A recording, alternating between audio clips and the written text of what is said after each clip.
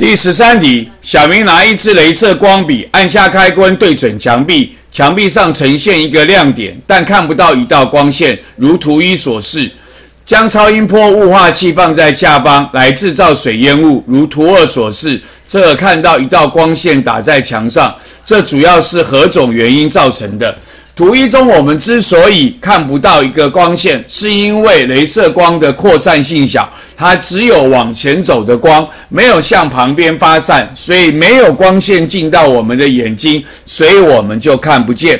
那么图二会看到一条光线，就表示有光线呢会进到我们的眼睛。那怎么来的？就是因为镭射光打到这个烟雾之后，被烟雾反射过来，所以我们就看到了镭射光。所以第十三题问我们说，这主要是何种原因造成的？我们答案选的是 B，镭射光照到烟雾发生反射。